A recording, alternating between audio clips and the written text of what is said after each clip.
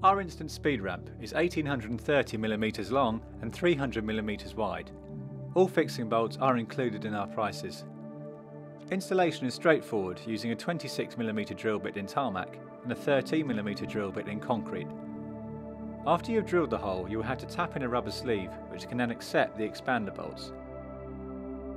You then offer up the speed ramp and the expander bolt to the rubber sleeve and tighten. Remember to let us know if you are drilling into tarmac or to concrete so we can provide you with the correct bolts free of charge.